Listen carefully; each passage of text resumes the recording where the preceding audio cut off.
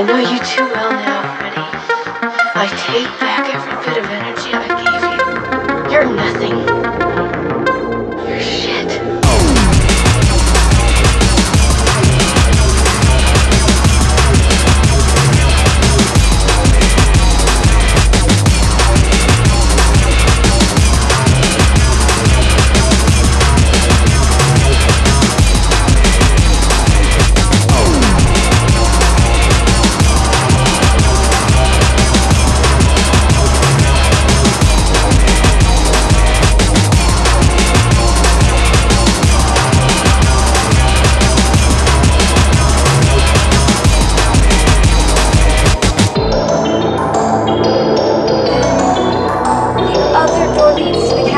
leads to certain death.